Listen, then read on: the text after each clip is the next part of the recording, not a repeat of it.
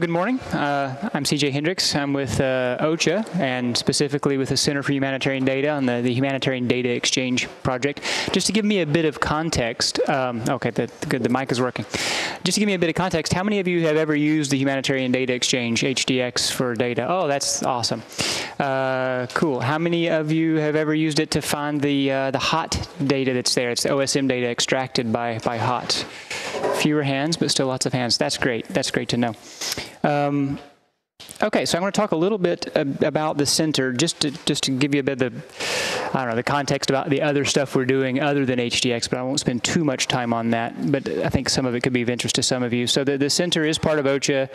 We have people scattered around in, in a lot of places, but the center itself is is in The Hague, uh, and I'm based in Geneva. So we started out actually just working on the humanitarian exchange language. How many people know what that is, the humanitarian exchange language? Oh, not bad, not bad, great.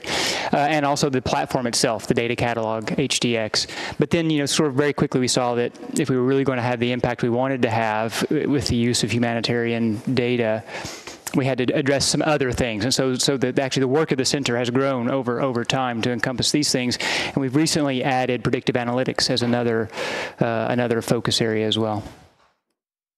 Um, I'm just going to mention this very briefly, but a, an increasingly big part of our work is around data responsibility, and ethical use of data. Um, I'm definitely not an expert on that, but the, the team that's working on that is some really, really sharp people, and they've developed a really great document that, that a lot of people are really engaging with, this draft guideline. Um, so that's an interesting process if you're interested in that, uh, in that aspect of working with data. So HDX, our you know, tagline has always been making data easy to find and easy to use. We've done better on the find part than the use part, uh, for sure, but we, we keep uh, hacking away at that problem. This is a very old slide. We have a lot more data sets now. Um, so yeah, so here's about kind of current numbers. We get around 50,000 unique visitors uh, a month, about 12,000 of whom download something. Um, we've got just over, just very recently, over 10,000 data sets from about 240 active organizations on the platform. And the sources they're pulling from total about 1,100. And about a third of the data sets have the, the HXL tags, which make them a bit more interoperable. I'm not going to talk about HXL very much, but I do have some HXL postcards up here if you're interested to kind of see what this very lightweight data standard looks like. Also some stickers and some postcards and things. So what I'm going to talk about today is is a collaboration we've done with with Hot, and and and to be honest, Hot has done almost all the work on this really. So so it's really it's really their their success, I think. Um, so there's about 819 hot data sets on HDX. So that's about, you know, 8%. The math there is pretty easy to do. Um, and they're basically country-based extracts, usually. So it'll be a polygon around the country. It clips out that data. And it, it does, right now, it does four. It does buildings, roads, waterways, and points of interest. And it puts them on HDX as formats that humanitarian information managers really like. Shapefiles, there's some other stuff there, GeoPackage and GeoJSON, I think, but mainly it's the shapefiles that, that get used. Um, so that makes the, the OSM data really accessible to people in the formats that they're used to using on a, on a daily basis and in a way that they can download and have, have local, which is still the way most people are operating in the field, at least among OCHA's IMOs.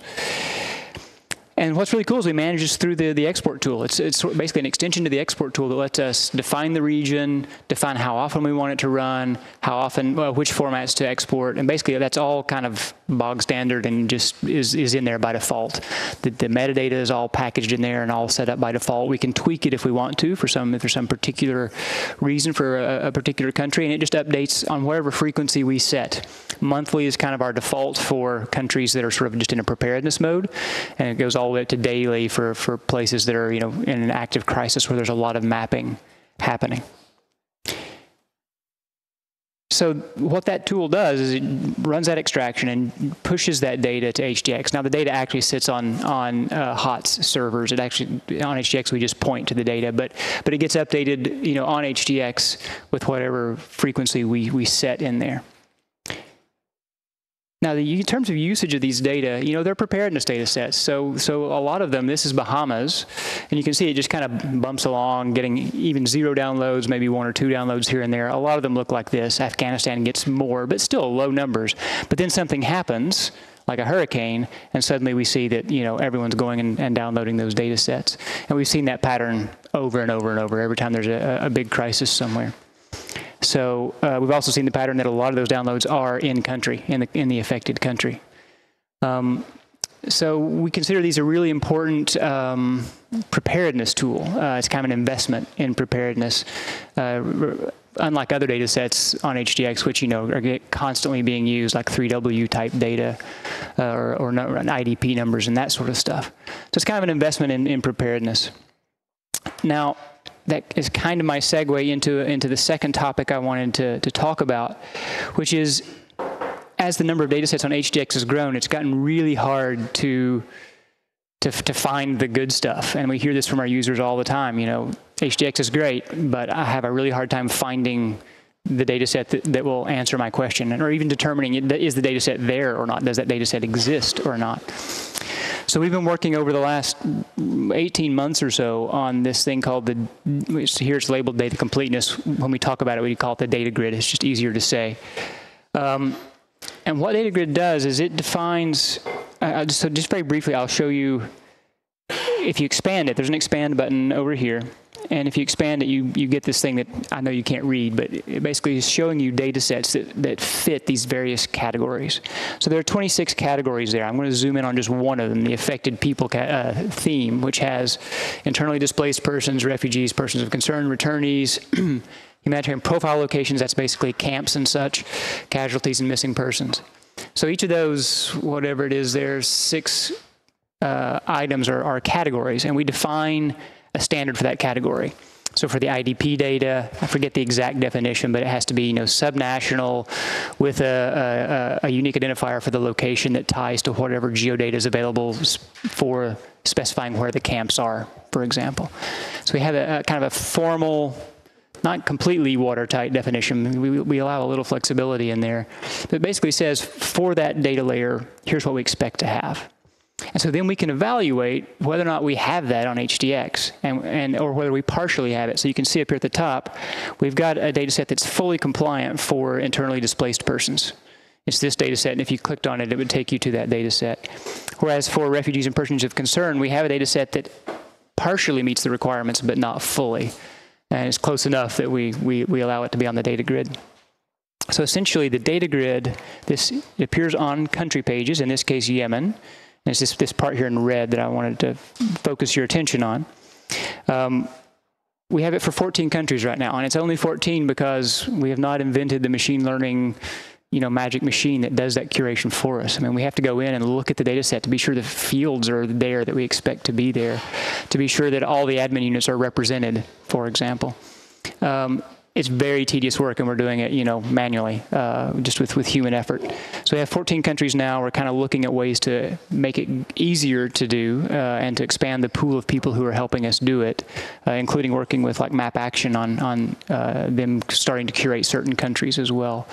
So if any of you are in organizations that might be interested in doing that, I would love to talk to you about it. That's kind of where, where we're at. So if we look at all these categories, there's one for health and education. The hot data that I talked about before appears in a couple of places here before I talk about health and education. Um, it appears in the roads data, and I think, um, yeah, it's over here for the for the roads, which you probably can't read, but that's the, the OSM data extract coming through the hot export tool.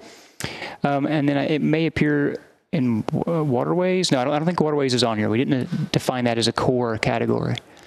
Um, but there's more stuff in there, and education facilities and health facilities are ones that are almost always missing. So what we're trying to do right now, this project is actually underway right now. Um, I'm not sure if Mary's in the room. She's the, the project manager on it.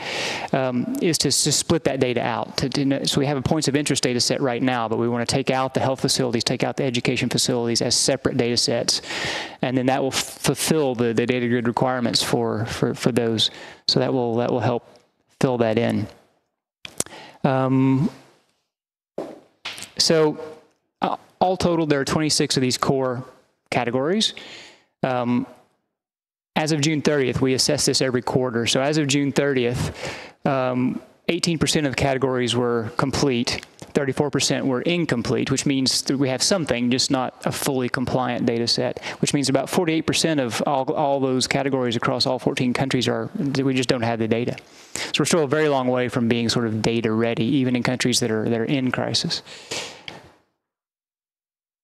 Um, and this is my last slide, so I think I'm doing okay on, on time. Um, yeah.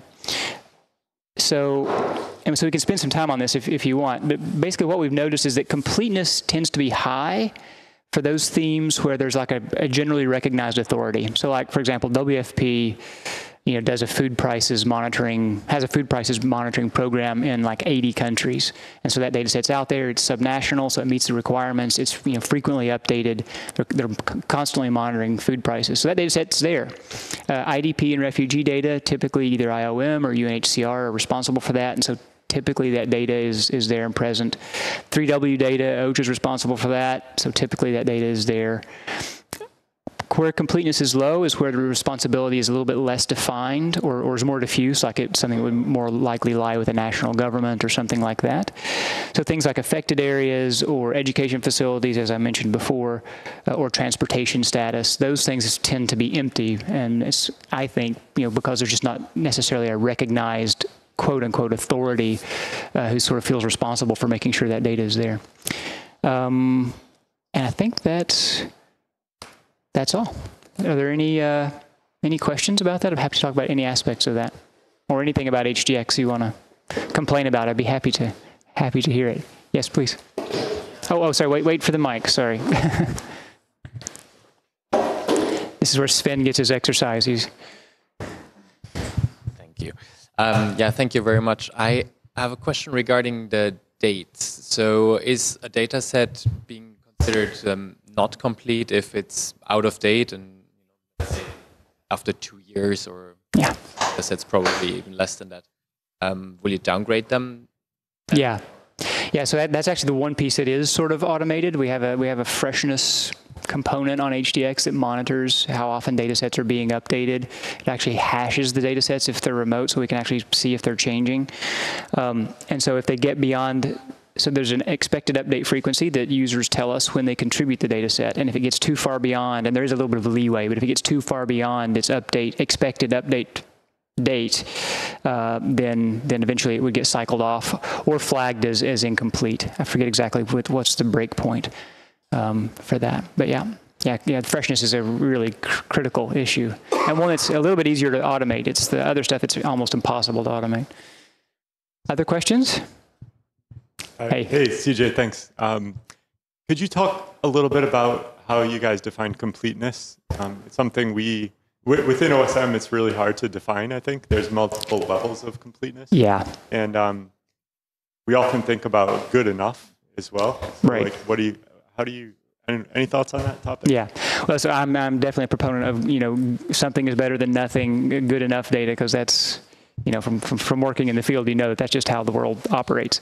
Um, so that's why we have this concept of, let me just back up a little bit, of this, these, the, you know, the, the blue, solid blue box versus the hashed blue box, complete versus incomplete. So we can let something go into the data grid, even though it may not fully be there. Either it doesn't cover the whole country or, uh, or, you know, doesn't have all the attributes we expect. Food security is a, a particularly, you know, complex domain. So if something's got part of that, but not all of it. We definitely want to include that. So that gives us some wiggle room uh, in, in terms of that. So that there are like seven criteria for completeness, and I, off the top of my head, can't really remember them all. It's sort of a, there's sort of a, like a decision tree that we go through to evaluate the data sets. And some of them are kind of obvious, like, you know, you expect it to be like, let me, let me just show you one. Let me switch to a browser here. Um, and maybe I can make that a little bit bigger. Oh, this is a German keyboard. Help, somebody. I'm looking to make it bigger. Control plus. That's control. Where's plus? There. Oh, no. Maybe it doesn't work like that. So somewhere in the tools here, I can probably zoom.